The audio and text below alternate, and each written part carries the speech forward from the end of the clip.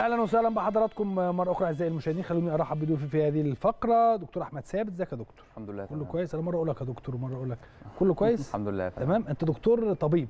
آه. فعلا؟ إيه اللي خلاك تروح للكورة بقى وللحاجات دي؟ من بالمناسبة. أنا عمري ما سألتك.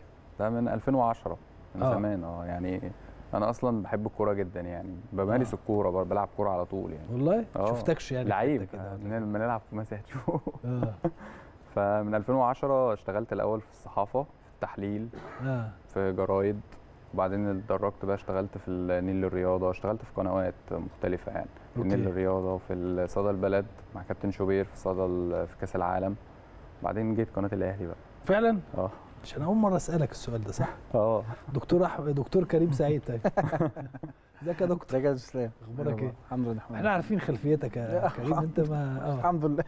إيه طب احكي لنا برضه. أنا؟ آه. آه لا أنا بقالي الشغلانه من آه 2000 و 2001 آه.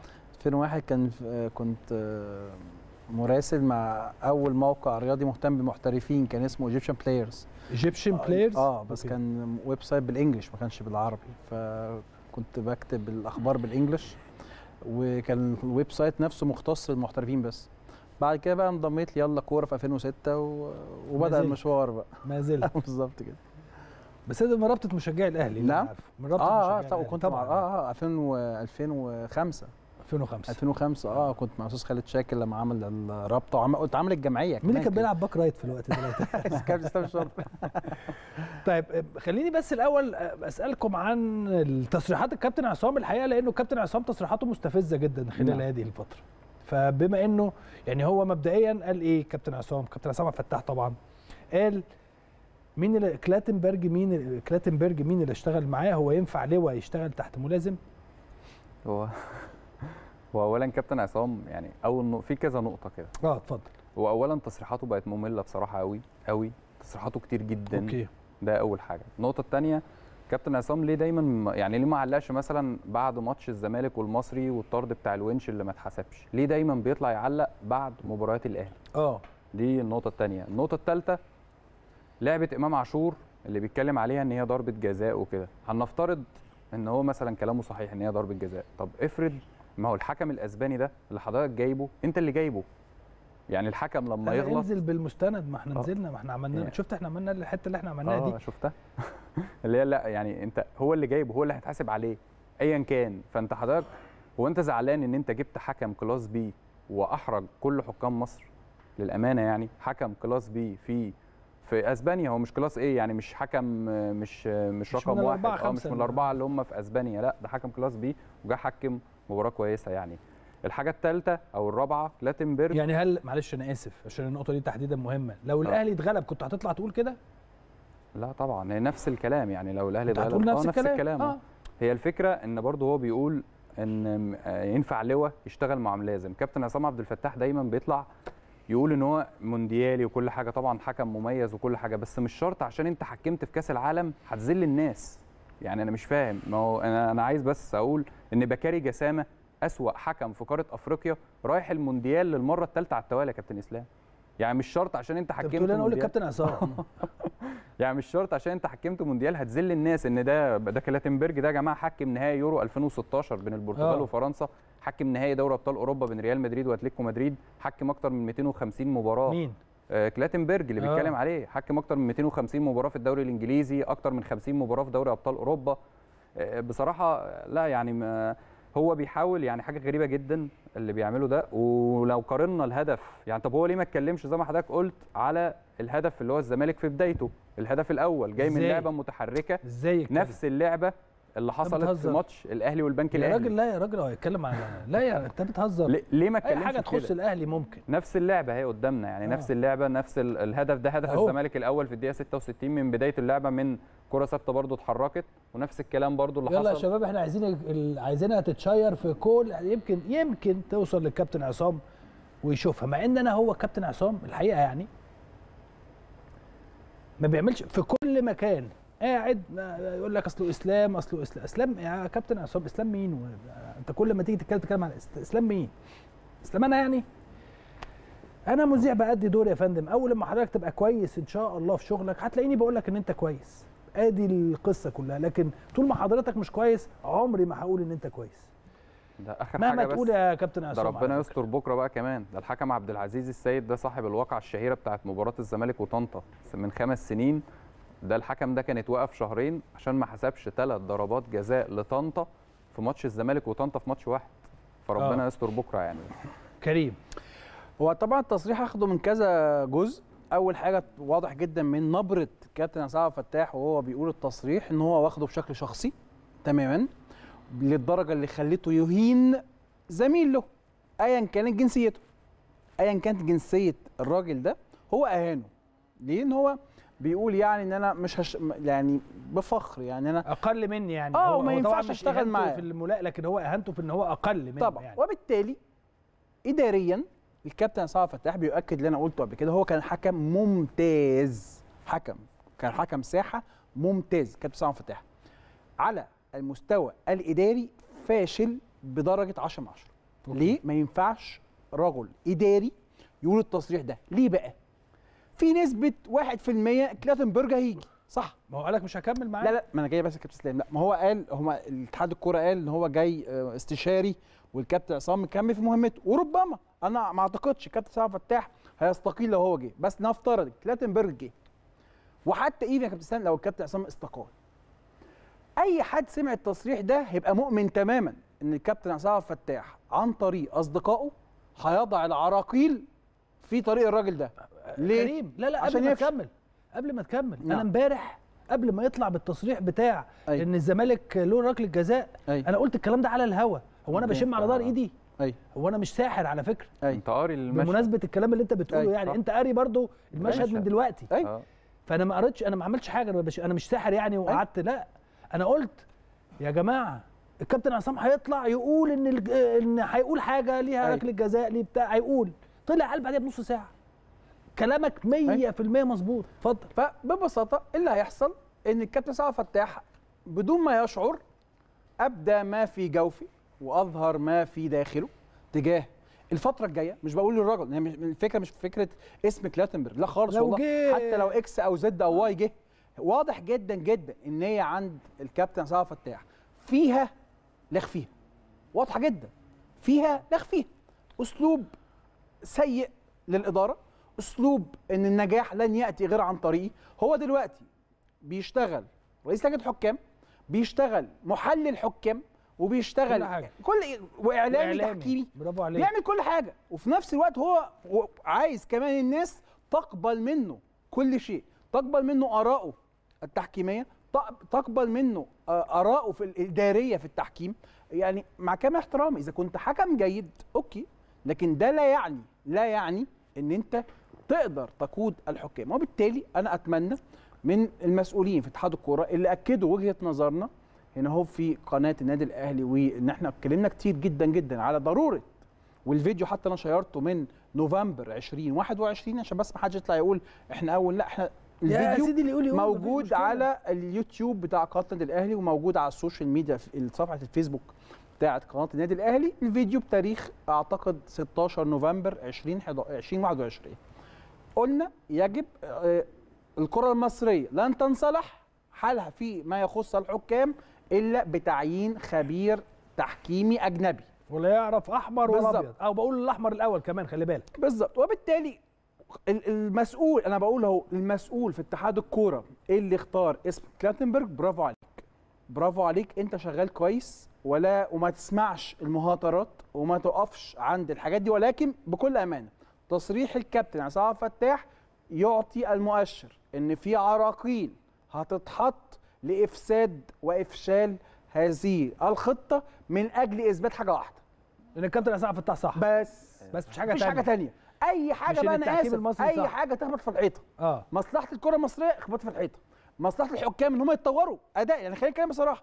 الكابتن أمين عمر في مباراة المقاولين والإسماعيلي حصل مشاكل كتيرة جدا جدا جدا بعد المباراة وحصل واضح جدا يعني ما يشبه يعني الاحتجاج الجسدي داخل أو بالقرب من غرف الملابس بسبب بعض الأخطاء. في أخطاء بتحصل. مش أنا أهو جبت مثل بعيد عن الأهلي والزمالك. يعني كل الأندية واضح إن هي بتشتكي. وبالتالي هنا الحكام زي اللعيبة يا كابتن إسلام. الحكام زي اللعيبة. يعني لو ما عندهمش حد بيطورهم مستواهم هيقف. إحنا بن... ما زلنا بنقول كابتن أمين عمر. حكم كويس كابتن محمود البنا حكم كويس. عندنا حكام كويسين جدا بس هم ما حدش بيطورهم. إذا كان معلش إذا كان فكر رئيس لجنة الحكام نعم. إذا كان فكر رئيس لجنة الحكام معروف لحضرتك أي. معروف لأحمد معروف ليا فكر شوف تصريحات تتابع تصريحات الكابتن عصام هتطلع تقول مليون في المية مليون في المية امبارح أي حد هيطلع يقول إن الكابتن عصام مش إسلام يعني ده اللي هو ال- ال- الفنكوش ولا لا هيطلع يقول مليون في المية إن الكابتن عصام عبد الفتاح هيطلع يقول إن الزمالك له ركله جزاء أو نعم. الفرقة اللي كانت بتلعب ضد الأهلي عشان بس ما حدش يجيبها أهلي وزمالك أنا بتكلم الفرقة اللي كانت بتلعب ضد الأهلي لها ركله جزاء نعم.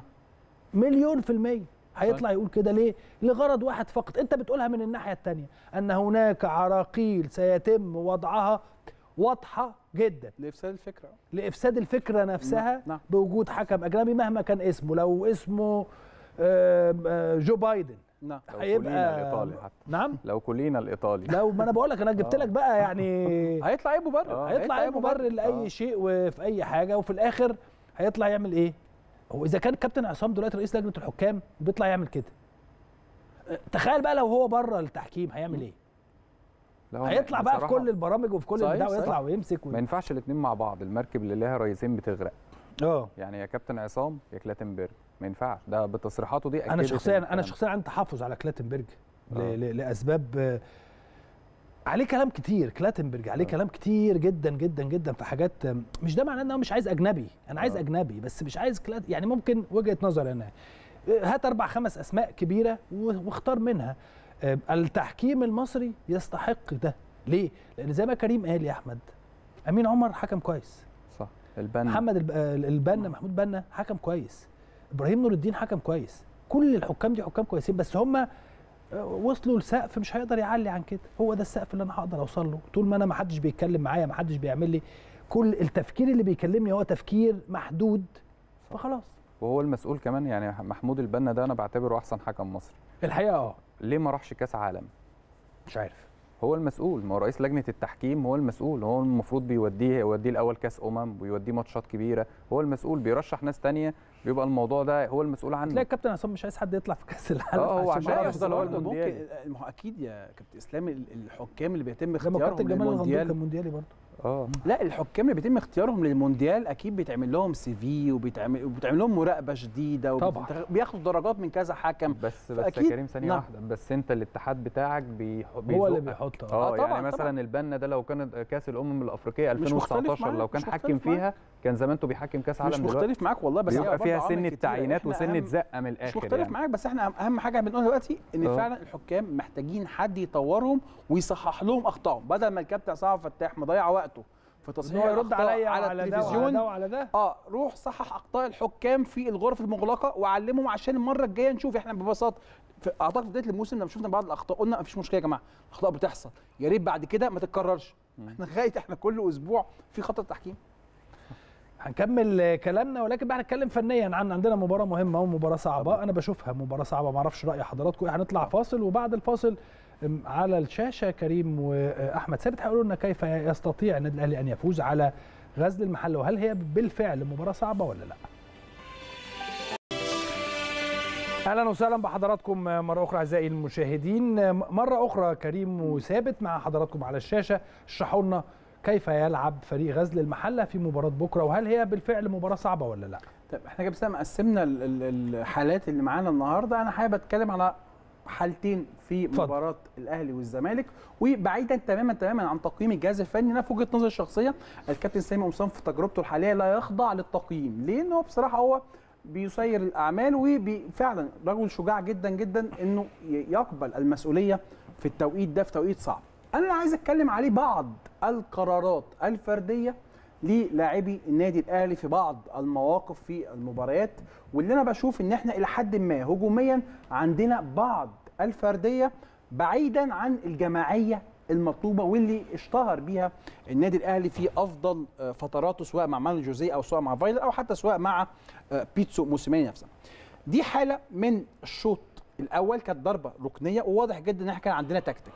لما نقف هنا أهو هنلاقي إن قفشة أول ما لاعب نقف معلش أول ما لعب التمريرة لأحمد عبد القادر كان واضح في تكتيك إنه لازم أحمد عبد القادر يدي الكورة مرة. أخرى وبيشاور له. واضح جدا إن هو بيشاور له. بيقول له ادي الكورة لعلي معلول. ليه؟ لأن التكتيك ببساطة إن قفشة يطلع بيطلع وياخد معاه. حد و... جو- لعيبه نادي الزمالك الكره ترجع لعلي معلول. يكسب منطقه التسلل ويلعب الكره العرضيه لهذا الكم من المهاجمين في النادي الأهلي.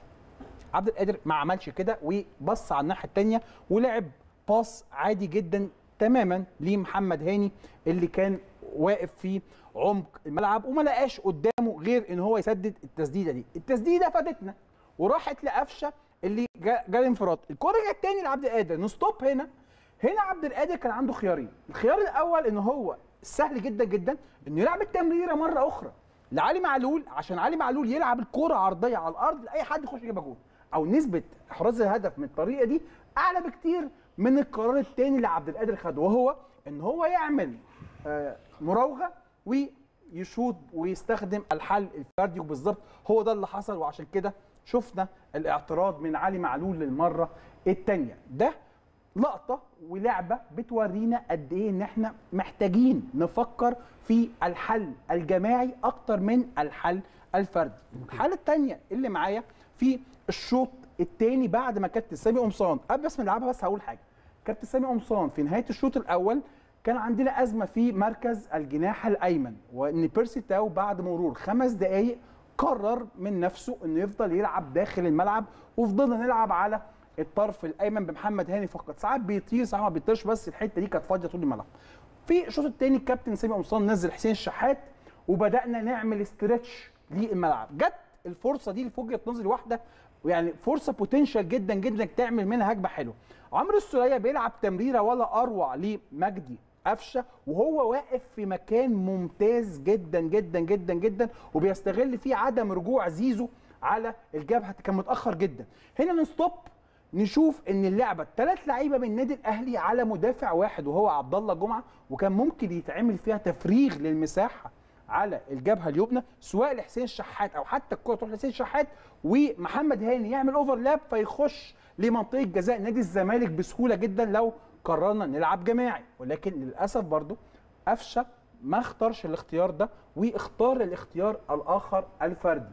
اللعبتين دول دول اللي أنا حابب أتكلم عليهم النهارده عشان واضح إن إحنا نسبة تركيزنا في الحل الفردي في الثلث الأمامي قدام أي منافس بقى له يعني بنبديه على اللعب الجماعي وده أسلوب أتمنى إن اللعيبة نفسها تاخد قرار إن أنا هبدأ ألعب وأبص لازم تبقى عينيا باصة على زمايلي في الملعب لازم عينيا باصة على الحل الجماعي قبل الحل الفردي الحل الفردي ألجأ له في حالة واحدة إن فعلا ما عنديش غيره. وبالتالي أعتقد لو إحنا قدرنا نحسن النقطة دي. دي نقطة من النقط اللي إن شاء الله بإذن الله الجهاز الفني الجديد يقدر يشتغل عليها لأن إحنا فعلا بقالنا فترة فعلا ما عندناش تطوير لأدائنا الجماعي الهجومي غزل المحلة وتشكيل غزل المحلة. غزل المحلة بيلعبوا بطريقة تعالى نستعرض تشكيل غزل المحلة مع بعض. اتفضل. أول حاجة لو ن- نستعرض بس التشكيل في حراسة المرمى عمرو شعبان هم بيلعبوا بال 4 3 3 قدامنا التشكيل على الشاشة عمرو شعبان الاثنين المساكين محمد فتح الله ومعاذ الحناوي ال back left مصطفى العش وال back right يحيى حامد الاثنين الارتكاز حميد ماو وأشرف سيد وإبراهيم كونيه بيغطي هو كمان بيبقى ارتكاز ثالث معاهم ناحية اليمين وأشرف سيد هو اللي بيروح ناحية الشمال وحميد ماو هو اللي بيبقى في العمق فبتبقى 4 3 3 الثلاثه اللي قدام وليد مصطفى وده ناشئ الأهلي المعار لغزل المحلة. وهشام عادل الشهير ببلحة ناحية الشمال وعبد يحيى أخطر لاعب في غزل المحلة المهاجم وراس الحربة. ده بنسبة 99% ده هيبقى تشكيل غزل المحلة بكرة ال 4 3 3 هو ده نفس تشكيلهم. تعال نتفرج على الحالات ونخش نشوف الثلاثه الارتكاز بتوعهم. نستعرض أول حالة هنلاقي ده شكل الثلاثه الارتكاز أهو. okay. هو هي على الورق 4 2 3 1 لكن في الحقيقة في الملعب حميد ماو هو اللي بيبقى مغطي العمق كونيه هو اللي بيبقى ناحية اليمين وأشرف سيد هو اللي بيبقى ناحية الشمال. نكمل نجيب الحاله اللي بعدها برضو. هنلاقي نفس الشكل الثلاثه الارتكاز بتوع غزل المحلة حميد ماو وكونيه وأشرف سيد. تعال نتكلم بقى ونشوف أهم لعبة. والتكتيك الهجومي والتنظيم الهجومي والخطير بكرة إيه. أهم حاجة تحركات عبد يحيى. عبد يحيى هو الراس حربة على على الورق ولكن هو دائم التحرك ناحية الطرف الأيمن في المساحات اللي بتبقى مثلا خلف الظهير الأيسر عند النادي الأهلي دايما آه. بيبقى ناحية اليمين. ارجع الصورة اللي قبلها كده هتلاقي هو راس حربة ولكن هو بص راس هو متحرك فين؟ عشان يفضي المساحه في العمق اليمين اللي دايما بيبقى قاطع للعمق هشام عادل اللي هو رقم سبعة بلحة اللي هو ناحية عبده يحيى بيبقى ناحية اليمين وهشام عادل هو اللي بيبقى جوه قاطع في العمق. الصورة اللي بعدها نفس الشكل عبده يحيى دايما بيتحرك. اذا لازم نخلي بالنا إن هو دايما بيسقط لتحت عشان يفضي المساحات في ظهر المدافعين اللي هو مثلا نفترض ياسر إبراهيم أو رامي ربيعه أو بدري بنون أي حد في ظهرهم هو بيسحب المدافعين معاه. نفس الشكل برضه بيتحرك دايما ناحية اليمين عشان يعمل العرضيات وهنا في انتشار وكثافة عددية جوه. كله بقى إيه؟ المساحة بيستغل المساحة اللي فضاها عبده يحيى مهاجم غزل المحلة. هنا برضو التنظيم الهجومي بتاعهم والشكل. رقم 8 اللي هو أشرف سيد اللي معاه الكورة بيلعبها لمين؟ للاعيب الأهلي المعار اللي هو وليد مصطفى لعيب كويس جدا اللاعب الصغير اللي هو المعار من النادي الأهلي لنادي المحلة واحد من المعارين الممتازين. هنا بيحصل سويتشات وتبادل الأدوار ما بينهم برضو بتتباظى أو بتتمرن في العمق لعبده يحيى اللي هو مهاجم غزل المحلة في العمق. اذا لازم نخلي بالنا من تحركات عبده يحيى بكرة. مهم جدا جدا لأنه مهاجم قوي. لو برضو معانا أرقامه لو نستعرض أرقامه في في الدوري هنلاقي إن هو أهم لاعب السنة دي في غزل المحلة هو محمد فتح الله كماتشو المساك. دول الاثنين الأعلى تقييم في غزل المحلة. قدامنا الأرقام على الشاشة هو مسجل خمس أهداف هداف الفرقة. منهم أربعة بالقدم اليمنى وواحد بالراس الأكثر assist مساهم في هدفين صانع 19 فرصة عامل 223 تمريرة صحيحة ليه 13 محاولة صح ومراوغاته الناجحة 13 دليل برضو إن هو كورته حلوة على الأرض ومهاجم كويس مميز على الأرض. تعالى نتكلم بقى على برضو ده أنا دي كورة كانت ميتة اللي هي يعني لعبة ميتة خالص مع إنبي آه، قدر إن هو يحييها وكمل الصور قدر إن هو يضغط عليهم وي- ويحصل على ركلة جزاء من لعبة ميتة خالص. دليل على قوة برضو قوته البدنية والسرعات اللي بيمتلكها. مهاجم مميز بصراحة يعتبر عبد يحيى وهشام عادل أهم اثنين على المستوى الهجومي ومعاهم وليد مصطفى ناشئ الأهلي المعار. الأهلي بكرة عنده مشكلة. الأهلي بصراحة في الفترة الأخيرة مشكلته بدنية. أنا شايف إن الأهلي مشكلته بدنية أكتر من فنية. بدنية إزاي؟ إن أنت موسيماني آه في الفترة الأخيرة مدرب الأحمال قلة التدريب الحاجات دي كلها أدت إلى إن إحنا شايفين. أنا شايف إن النادي الأهلي كان يقدر يكسب الزمالك فنيا كنا نقدر نخلص الشوط الأول ولكن واضح إن في مشكلة بدنية. فأنت إزاي تقدر كابتن سامي قمصان هنا إزاي يقدر يتعامل خاصة إن أنا هلعب كل ثلاث أيام ماتش؟ لازم يحصل rotation لازم ألعب ودعم ببعض الشباب. ده الف... أحمد نبيل كوكا لازم يكون له دور. مهم جدا بكرة. لازم أحمد نبيل كوكا وعمرو السولية لازم أحمد نبيل كوكا خاصة إن أنا حتى لما حمدي فتحي خرج الزمالك قدر إن هو يجيب جونين. كان لازم تواجد أحمد نبيل كوكا في الحتة دي. لو استعرضنا تشكيل النادي الأهلي بكرة اللي هو قد يكون متوقع. آه تشكيل الأفضل يعني من وجهة نظري إن نبدأ بكرة عادي بطريقتنا. انت باين عليك نسيت يا أحمد. والله آه. باين عليك نسيت. المفروض. التشكيل متوقع من وجهة نظر أحمد ثابت. آه يعني متوقع يعني مش من وجهة نظر ال- ال- الفرقة. آه. أو يعني كابتن سامي لا من وجهة نظر أحمد ثابت. أنا أعتقد إن كابتن سامي هيعمل rotation لكن من وجهة نظري التشكيل الأفضل نجيب بس البيرو. هنلاقي إن ال- الأربعة اللي ورا من وجهة نظري هن- محمد الشناوي نديله الثقة برضه محتاج إن هو يستعيد إن شاء الله مستواه في الفترة الجاية. محمد الشناوي يعتبر حارس مصر الأول. الاثنين المساكين طبعا بعد غياب أيمن أشرف وعدم تواجد محمد عبد المنعم. أعتقد إن ياسر إبراهيم ورامي ربيعة. أهي. ياسر إبراهيم ورامي ربيعة اثنين مساكين. أو حتى هات التشكيل اللي معانا صوره يعني fixed ال back right أعتقد إن كريم فؤاد محتاج ياخد فرصة في الفترة الجاية. كريم ماشي. فؤاد لعيب rotation كذلك برضو ال back left محمد أشرف غياب علي معلول. أنا شايف إن تواجد واحد زي محمد أشرف كناشئ مهم مش مع مش مش تقليل من محمود وحيد ولكن إحنا محتاجين كل اللعيبة في الفترة دي. لازم اللعيبة في الفترة دي أدي قدامنا التشكيل. اللي أنا بشوفه ممكن قد يكون الأفضل من وجهة نظري ال 4 2 3 1 محمد أشرف ناحية الشمال وقدام كريم فؤاد محمد أشرف ليه مش محمود وحيد؟ أنت عندك برضو معلول هيغيب 10 أيام. فأنت محتاج وداخل بعد 3 أيام ماتش بيراميدز. فأنت لازم تبقى عندك كذا لعيب جاهز بقى خلاص. يعني لازم تجهز لازم تدي لعيب زي ده. جعان كورة محمد أشرف ده ولعيب موهوب أديله أكسب لعيب زي ده. عندك أحمد نبيل كوكا الارتكاز واحد من المكاسب في المباريات الأخيرة قبل مباراة الزمالك وبيعمل لك دور مهم جدا في عملية تحضير الهجمة. عمرو السولية ودور الخبرة بقى بكرة لازم والتمريرات الطولية بتاعه والتكملة ده مهم جدا لازم.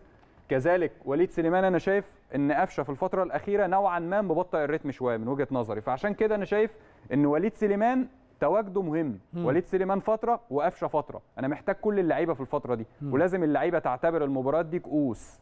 المباريات دي لا تقبل القسمه على اثنين إحنا خسرنا الدوري السنة اللي فاتت بسبب المباريات دي. لازم المباريات دي لا تقبل القسمه على اثنين نكمل بقية التشكيلة. ناحية اليمين طاهر محمد طاهر لعيب سريع وقوي بدنيا يقدر يديك في الحتة دي. صلاح محسن لما نزل مباراة الزمالك في الشوط الثاني قدر إن هو يسجل. أعتقد إن بسبب غياب حسين الشحات وأحمد عبد القادر فأعتقد إن طاهر وصلاح محسن تواجدهم مهم قدام راس حربة محمد شريف. التشكيل بس آخر نقطة أتكلم فيها إن أنا عامل rotation بس لازم ال rotation برضو أنت محافظ على بعض اللعيبة الأساسية. يعني أنا الشناوي أساسي رامي ربيعة ياسر إبراهيم عمرو السولية طاهر محمد طاهر محمد شريف كل دول وكريم فؤاد. انت بس طعمت ببعض الشباب اللي انت هتديهم فرصة يعني عملت خليط ما بين الاثنين عشان برضو تحافظ على قوام الفرقة وتقدر إن انت تحصل على الثلاث نقط. كريم. آه، ما زلت يا كابتن إسلام أنا مؤمن على المستوى الشخصي ان الفترة الحالية من الموسم. وحتى من فترة ش... قبل كده شوية كانت محتاجة إن إحنا نثبت على 3 4 3 ليه؟ إن هي بتدي أريحية للاثنين full backs إن هم يقدروا يطيروا زي ما هم عايزين وما يتلعبش في ظهرهم زي ما شفنا مثلا فيريرا الشوط الثاني لعب بشكل وركز على المساحات خلف محمد هاني وخلف علي معلول وقدر يعتمد على الكرات العرضية والاختراقات وشفنا فرق السرعات قدر بيها نادي الزمالك يجيب هدفين في خضم أقل من ربع ساعة فبالتالي دي واضحة إن هي ثغره عندنا وفي فرق كتيرة لعبت ورا وبالتالي أنا بجيب ال history بتاعنا الموسم ده بلاقي إن أفضل فترة لينا في الموسم هي البداية لما كنا بنلعب 3 4 3 البعض بيقول لي طبعا يا كريم خلي بالك في بعض الأحيان عدم وجود حمدي فتحي والسولية وأليو ديانج مع بعض بيخلي المدير الفني يبقى خايف إن هو يلعب بيها لأن هو بيحتاج حمدي فتحي يبقى هو الثالث ممكن متولي. بالظبط. النهارده إحنا مع وجود بدر بنون ومو- وعودة الحمد لله محمود متولي. نقدر نلعب ال 3 4 3 وممكن نستعرض بالظبط دي. ده في وجهة نظري الشخصية التشكيل أيوة. الأمثل لي- ليا أنا ككريم سعيد بكرة. محمد الشناوي لا خلاف إنه حارس مرمى. ثلاثي في الخلف ربيعة بنون وياسر. على الجبهة اليمنى بتفق جدا جدا مع ثابت إن إحنا ندي كريم فؤاد آه، فرصة ومساحة إن هو يبدأ خصوصا في الماتشات اللي اعتمدنا عليه فيها فعلا كان ممتاز جدا جدا. على الشمال محمود وحيد في نص ملعب برضه بتفق مع ثابت في الاعتماد على السوليه وكوكا لأن كوكا بيلعب دور ستة بشكل كويس. وفي الثلاثي الأمامي بيرسي تاو على اليمين ومحمد شريف مهاجم صريح وقفشة على الجبهة اليسرى. ويقدر طبعا في الطريقة دي براحة بيرسي تاو وراحة قفشة إن هم يضموا جوه. ليه؟ ببساطة إن هيبقى كريم فؤاد ومحمود وحيد على طول طايرين وكمان في نفس الوقت مش خايفين من ظهرهم لأن ربيعة وياسر هيبقوا مأمنين الاطراف ده في وجهة نظري الشخصيه 3 4 3 هي الطريقة الوحيد لينا عشان نقدر. ما نكررش نفس الأخطاء اللي عملناها في الثلث الأخير من الدوري السنة اللي فاتت وبالتالي ضاع اللقب السنة اللي فاتت. ده تشكيل دكتور أحمد ثابت وده تشكيل دكتور كريم سعيد وغدا هنشوف تشكيل كابتن سامي قمصان هيبقى عامل إزاي زي ما حضراتكم عارفين المباراة بكرة إن شاء الله على الهواء مباشرة قبل المباراة بساعتين يعني بيكون مع حضراتكم الاستوديو التحليلي لقناة النادي الأهلي مع النجم الكبير الكابتن أيمن شوقي والمحللين الكبار اللي موجودين معاه دايما في قناة النادي الأهلي أنا بشكركم شكرا جزيلا شكرا يا. دكتور أحمد. بشكرك يا كريم على. وجودك معانا بشكر حضراتكم شكرا جزيلا. إن شاء الله كل التوفيق للنادي الأهلي في مباراته بكرة. وإن شاء الله ربنا يكرمنا بالثلاثة نقاط. وبعد كده بقى نبقى نتكلم ولكل حدث حديث. بشكر حضراتكم شكرا جزيلا. وإن شاء الله أشوف حضراتكم على خير.